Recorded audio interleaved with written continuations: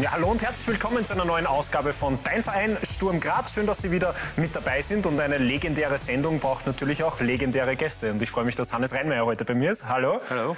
Ja, und dann alle, die sich jetzt fragen, was macht denn mein Lieblingsspieler von damals jetzt eigentlich? Sie sind Trainer beim SK Werndorf. SK Werndorf und, und arbeite äh, bei der SVS. Und es ist schwierig, aktuell Trainer zu sein. Sehr schwierig, es langweilig daheim. ja. ähm, ich habe jetzt unlängst bin ich auf eine Aussage von Ihnen gestoßen, auch in, in der Vorbereitung natürlich. Es war ein bisschen vor meiner Zeit, Ihre aktive, Ihre erfolgreiche Zeit. Ähm, Sie sind zufrieden mit dem, was Sie erreicht haben. Sie, Sie haben das Hobby zum Beruf gemacht. Sie haben gut gelebt oder leben gut davon. Und Sie haben aber auch die Zigarette nicht ausgelassen und das eine oder andere Bier auch nicht ausgelassen. Sind Sie als Trainer da auch nachsichtig dann? Naja, im Amateurbereich ist das, glaube ich, eh normal, dass, dass das äh, so ist, dass, dass die Spieler sich gerne da geben Sie zusammensetzen. Aus, Erfolg. Ja, und das ist ja okay so und das, das soll ja einen Spaß machen im Amateurbereich und das ist ganz, ganz wichtig. Schwelgen Sie noch gerne in Erinnerung? Äh, ich bin eigentlich kein, kein Mensch, der in, immer in der Vergangenheit schwelgt, aber man schaut es ab und zu mal an, aber ganz, ganz selten. Dann kommen wir zuerst zum Aktuellen, oder? Sprechen wir über den grandiosen Sieg gegen Salzburg in Klagenfurt. Was war das für eine Leistungsexplosion? Ja, es ist ein Wahnsinn eigentlich. Dieses Jahr, was, was Sturm Graz geleistet hat mit den Trainern, muss ich sagen, Hut ab von ihnen. Sie haben da wirklich, wirklich gute Arbeit geleistet. Man sieht, das ist eine richtige Mannschaft am Platz, die jeder für jeden läuft, die, die, die kämpfen, die alles geben und das hat man einfach gesehen. Und sie haben gestern auch, ich glaube, der Christian Ilz hat das auch gesagt in der Zeitung, mit Mann und Maus verteidigt. Sie wollten den 2-0 Vorsprung äh, irgendwie drüber bringen. Es ist dann leider nur 2-1 geworden, aber man kann sehr zufrieden sein mit dieser Leistung. Ja, verfolgen Sie da jede Partie? Fiebern Sie voll mit oder sind Sie gemütlich auf der Couch, alles in Ruhe? Naja, ganz in Ruhe nicht, weil meine zwei kleinen Jungs äh, spielen auch bei Sturm Graz, sie sind natürlich auch Sturm Graz-Fans. Äh, und man muss natürlich da mit, mitfiebern mit ihnen und man muss äh, äh, ein bisschen äh, sagen, was gut ist, was nicht gut ist. Und, und das, das, muss ich sagen, macht schon Spaß, aber ich bin immer mehr so der, der, der extrem fiebert. Ja, und die Burschen sind jetzt mehr ausgelastet, zumindest der Ältere darf jetzt endlich wieder trainieren. Genau. Die Kinder von Sturm dürfen wieder trainieren, sehr genau. gut so. Dann schauen wir noch auf die zwei Tore. Lukas Jäger hat ja das 1 zu 0 erzielt in der neunten Minute. Perfekte, einstudierte Eckball-Variante. Und dann in der 22. Minute Ivan Ljubic mit dem 2 zu 0. Tja, gab es solche einstudierten Varianten bei Ihnen auch früher? Ich glaube, wir haben sehr viel Standardtore gemacht, was ich mich noch erinnern kann, äh, weil wir wirklich ganz gute Kopfballspieler gehabt haben. Und solche natürlich auch von Ivan Juric. Ja, das muss man natürlich sagen. Sie haben das wirklich gut einstudiert. Aber der Janscha Jakob hat natürlich einen, super Fußball, der hat das immer gehabt, den kenne ich schon sehr, sehr lange. Und ich bin froh, dass er wieder seine Leistung bringen kann, so wie es war, weil er war doch lang verletzt. Ja. Ist das auch einer Ihrer Lieblinge im aktuellen Team, Jakob Janscha? Das war immer ein bisschen ein Liebling von mir, weil ich ihn schon im Amateurbereich gehabt, äh, wie der Amateurspieler war. Äh, der hat sich eigentlich nur selber aufhalten können. Das war immer ein überragender Spieler, der sehr, sehr viel gearbeitet hat, der äh, nach dem Training einmal draußen bleiben ist, eine Stunde noch Freistoß schießen. Und das sieht man halt dann das Ergebnis. Ja. Ein Thema, was wahrscheinlich dann doch noch, wo, wo mich Ihre Meinung interessiert, dass man überhaupt ausweichen musste. Macht Sie das äh, traurig wütend als, als Sturmlegende, dass man im, im, eigenen Heimstadion nicht spielen kann? Ich meine, jetzt sind eh keine Zuschauer, es ist nicht so schlimm, aber äh, es ist schon sehr peinlich, das muss man schon ganz ehrlich sagen, äh, dass Graz als zweitgrößte Hauptstadt von Österreich äh, das nicht hinkriegt, dass man Rosen normal pflegt. Also das ist schon ganz komisch. Ich weiß nicht, mit was das zu tun hat, aber es ist äh, sehr, sehr eigenartig. Ich weiß nicht, wir haben das auch damals gehabt, schon die Spielabsage gegen Real Madrid, äh, hat es auch gegeben schon damals. Hat auch Kassen, der Drainage ist nicht richtig in Ordnung und äh, irgendwas äh, tiefer auf dem Platz nicht richtig sein. Ja. Christian Ilzer, der hat jedenfalls nicht nur zu den Zeitungen gesprochen, natürlich auch bei uns im Interview und jetzt hören wir ihn nach dem Spiel. Mit der einstudierten Corner-Variante von, von meinem Trainerteam, die, die super analysiert haben, haben wir einfach ja, einen Raum bespielt und daraus dann das 1 zu 0 gemacht, dann das 2 zu 0. Das war sicher ganz, ganz wichtig. Auch Schlüssel heute diese Großchance vor der Pause, dass die vergeben worden ist vom, vom Berischer. Und ja, in der zweiten Halbzeit haben wir dann, sind wir etwas tiefer gestanden, haben versucht, die Räume extrem eng zu halten. Auch über gute Leistung im Duell, über ja, viel Emotion, die wir dann ins, ins Spiel reingegeben haben. Sehr wenig zugelassen. Elf Meter war dann unnötig von unserer Seite. In der Nachspielzeit haben wir ein bisschen Glück gehabt. Äh, aber ich denke schon, ein verdienter Sieg. Und jetzt haben wir in zwei Spielen gegen Salzburg sechs Punkte geholt. Ich glaube, das hätten uns vor der Saison wenige zugetraut.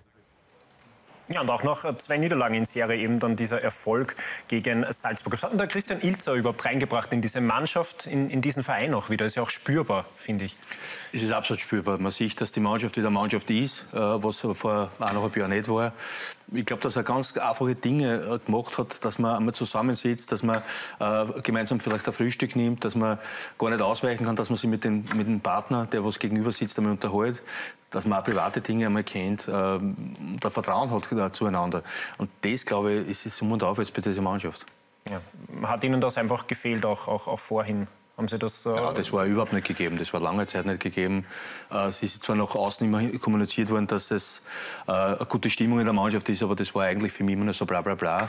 Äh, man hat einfach gemerkt am Platz, dass nicht jeder für jeden rennt. Und das, das, wenn das nicht ist in der heutigen Zeit, äh, kannst du keinen Ausfall leisten. Das geht, geht einfach nicht. Oder auch in der damaligen Zeit, das hat ja auch Sturm ausgemacht. Ja, das war doch ein bisschen langsamer, die Spiele. Und man hat dann äh, schon mal stehen bleiben können, durchblasen, weil wir haben das Glück gehabt, dass wir sehr oft die Partien schon in der ersten Halbzeit entschieden haben.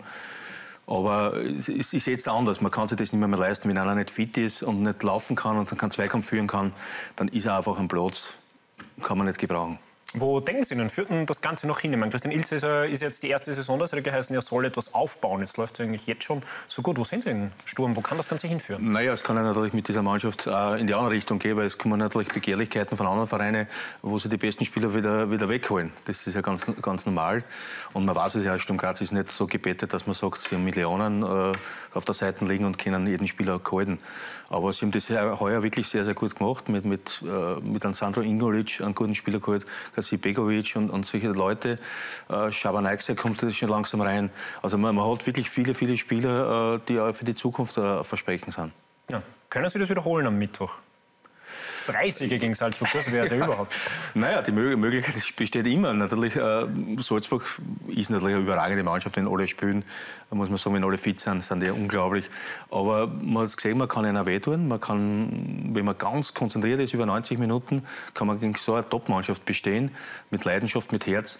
Was man nicht machen darf, so wie jetzt beim letzten Spiel oder was ich schon ein paar Mal beobachtet habe, die zweite Halbzeit, äh, hören ein bisschen, hört Sturm Graz ein bisschen auf zum Fußballspielen, wollen nur mit die Bälle langschlagen, wollen die verstehen, ich glaube nicht, dass das immer das richtige Mittel ist. Also sie müssten dann schon äh, zu Ende spielen. Es wären genug Räume gewesen beim letzten Spiel. Aber ich traue ihnen zu, dass sie wieder eine Idee haben.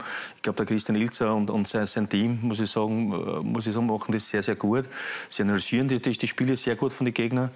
Äh, dass nicht immer alles äh, gut gehen kann, wissen wir auch. Dafür ist die Mannschaft auch äh, oft, oft zu jung. Aber sie sind auf einem richtigen Weg. Ja, und vor ein paar Wochen, wenn Sie sich erinnern, war ja Nicole Schmidhofer bei uns zu Gast, die hat gesagt, mein absoluter Lieblingsspieler, das war immer Hannes Reinmeier.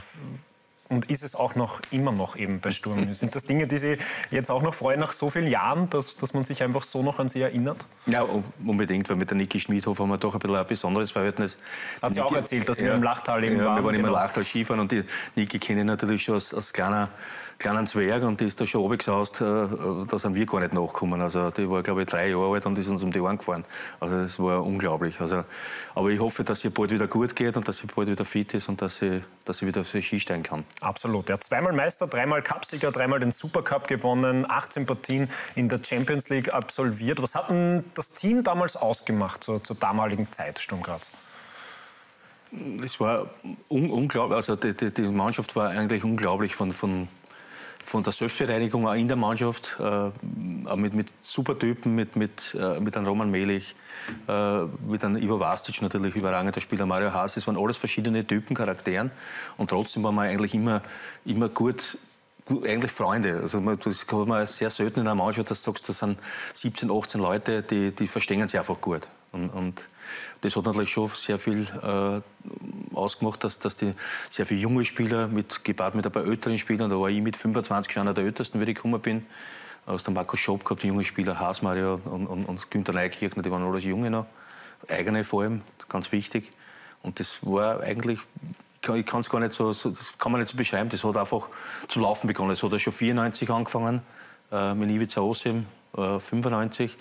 Und das hat sich weitergeführt dann mit, mit äh, Top-Einkäufen, muss ich sagen. Dann auch äh, im 97er Jahr mit einem Franco Foda, mit einem Marco Schupp, mit einem Popovic, äh, die überragend waren dann, die super waren in der Mannschaft. Und vielleicht sehen wir jetzt auch ein paar. Wir haben nämlich ein paar Bilder vorbereitet, und zwar von der Meisterfeier. 16. Mai 1998, da sehen wir noch ein Tor, das Sie auch da erzielt haben zum 1-0, was damals war noch andere Bildqualität, muss man auch sagen.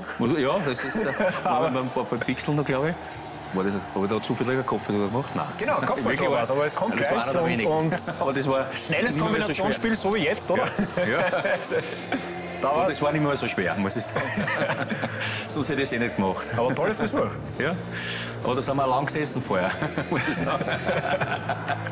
Was für Erinnerungen kommen glaub, generell das- hoch auch wieder bei, bei Nein, das solchen war Bildern sensationell. Das ist nicht nur das Spiel war, auch nachher dann, wenn wir dann ähm, die Feierlichkeiten gehabt haben und vor allem auch die, den, den Weg in, in, in die Stadt rein dann, welche Massen wir da bewegt haben, das war unglaublich. Also das war nicht, nicht zum Glauben. Und muss ich sagen, das hat der Hannes Kartning natürlich per excellence äh, exerziert, dass er sagt, das war unglaublich, also was der da auf die Beine gestellt hat mit Bühne und alles drum und dran, das war einer der schönsten Feiern, was ich jemals miterlebt habe. Ja, denken Sie auch noch, weil Sie ihn auch schon erwähnt haben, oft an, an Ivica Osim? Ja, na, ist natürlich, der, der hat mich auch äh, sehr geprägt von, von, von Spielerischen her. Äh, dass ich gut Fußball spielen kann, habe ich, hab ich immer gewusst. Aber das, er hat mir noch andere Sachen beigebracht. Und das war dann ganz wichtig. Was, was hat er beigebracht? Na, einfach mehr zu arbeiten, mehr, mehr zu tun für, für, für sich selber, im körperlichen Bereich natürlich. Und wenn ich körperlich fit war, habe ich auch gut gespielt. Das war einfach so. Ja, gibt es eigentlich noch eine, eine magische Dreiecks-WhatsApp-Gruppe zwischen Ihnen? Es gibt eine Lars komplette? WhatsApp-Gruppe. Eine komplette? Eine komplette WhatsApp-Gruppe, wo sie wir uns eigentlich wirklich immer wieder schreiben. Äh, leider jetzt sehen wir sie weniger, eben durch die Corona-Zeit, aber es gibt ja ab und zu mal so, so Essen mit, mit Herrn Ossem und, und mit, mit ein paar Spielern. Das ist immer, immer lustig und äh, man glaubt eigentlich nie, wenn ich sage, allmählich Roman, wenn ich den sehe, da glaube ich nie, dass wir auseinander waren. oder so. Das ist immer lustig, macht immer Spaß. Wer spammt denn dieser Gruppe zu? Bitte? Wer spammt dieser Gruppe zu? Gar, gar keines. Nur wenn, wenn Alle brav. Alle brav. Äh, da gibt es keine, keine Blödsinnigkeiten, da gibt es wirklich nur Termine äh, und ab und zu einmal Geburtstage und solche Sachen. Das, äh, sonst wird da nichts gemacht. Alles klar. Danke jedenfalls für den Besuch bei uns im Studio. Das war jetzt wieder dein Verein Sturm Graz. Nächste Woche sind wir dann natürlich wieder für Sie da und die Partie am Wochenende natürlich live bei uns auf Sky. Dann machen Sie es gut.